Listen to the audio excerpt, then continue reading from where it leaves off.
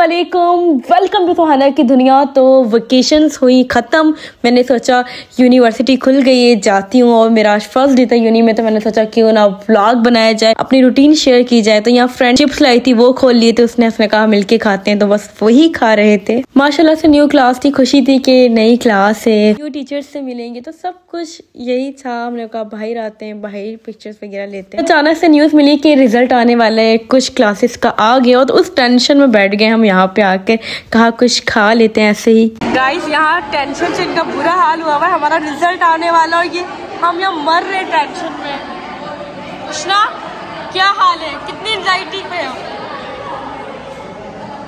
क्या लगता है क्या होगा? ओ अच्छा। दिल का दरिया।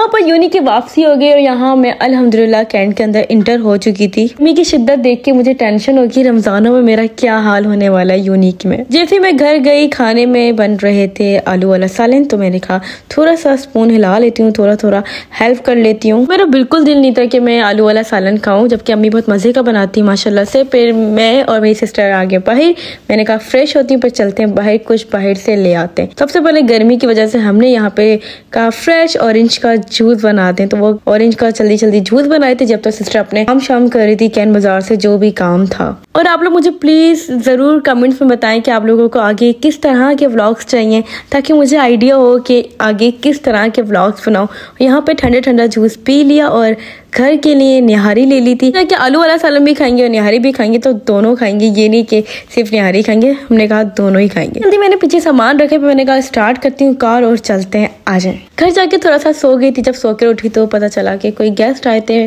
केक लेकर आए थे तो मैं यहाँ पे केक खोल रही थी कि मुझे केक बहुत पसंद है। रात हो गई थी, सारा काम कर चुके थे, सब कुछ हो गया था तो हम बच्चों ने बोला, क्यों ना हम मैच चलते हैं? सर्दियाँ जाने वाली थोड़ा सा ही टाइम रह गया, इसको एंजॉय कर लेते हैं तो बस हम लोग बाहर आ गए मैच में। कज़न भी साथ आ गया था। आपस में बैठ के गॉसिप करते हैं एंजॉय करते हैं। हमने कज़न के साथ मिलकर सोचा कि हम पिज्जा पार्टी करते हैं पिज्जा ऑर्डर करते हैं। पिज्जा किंग से पिज्जा मंगवाया, लेकिन इतना कोई मज़े का नहीं लगा। पहले बहुत अच्छा हुआ करता था, लेकिन इस दफ़ा जब हमने खाया, इनका फ्लेवर बहुत चेंज था, मज़े का नहीं था। व्यू चेक करें यहाँ का बस आप। पिज़्ज़ा तो मैंने खा ली लेकिन अब मेरे यहाँ पे मूड हो रहा है कि कुछ मस्ती करने का। तो मैं अपने फ्रेंड को कॉल करूँगी और बोलूँगी मैं घर के बाहर हूँ। उसे गुस्सा आ रहा है क्योंकि उसने अभी वो हमारे से होके जा चुके तो उसने बोला था मुझे जल्दी घर जाना है। तो हम मैं उसके पीछे पढ़ूँगी नहीं नहीं तुम आओ आओ। अभी इसे तंग करते हैं। जेफा मैं सुहाना बात कर रही हूँ। हाँ हाँ मैं ये कह रही हूँ कि बस हम घर के बाहर आने वाले बाहर आ जाओ पहुँच गए। मैं तो इधर खड़ा हूँ इधर फ्रेडिस पे हूँ मैं तो। तो हम लोग चलो फ्रेडी आ रहे तुम्हें लेने आ रहे हैं। क्यों? बस अभी घूमेंगे मज़ा करेंगे। अबे भाई मैं इधर कंट्रोल कंट्रोल घर में मेहमानों के साथ आया हूँ फिर उनको उनको गेस्ट हाउस छोड़ूँगा फिर अभी कितने कितने बहाने बनाओगे हम पहुँच गए। पहली फुर्सत में निकाल। मैं। फ्रेडिस पे आके देख लो मेरे साथ मेहमान बैठे हुए हैं इनको अब हम लोग जा रहे हैं अंदर हमने लोग थोड़ा पास्ता वगैरह देखते हैं कि क्या चीज़ ले सके। पिज़्ज़ा तो खा लिया लेकिन मूड हो रहा है कि कुछ और भी ट्राई करें। यहाँ पर वैसे टाइम ख़त्म होने वाला था उन्होंने कहा अब आपको कुछ नहीं मिल सकता। लेकिन वो हमें अच्छी तरह जानते हैं तो उन्होंने कहा चले हम आपको बना देंगे। जब तक मैंने कहा आज हम बच्चे बच्चे यहाँ पे गेम खेलते हैं। कमेंट में मुझे बताएँ कि आप लोगों को ये वाला गेम पसंद है या नहीं। अरबास पीछे से आपका पेट नहीं भरा था जो आप पास्ते पे आ गए। जी।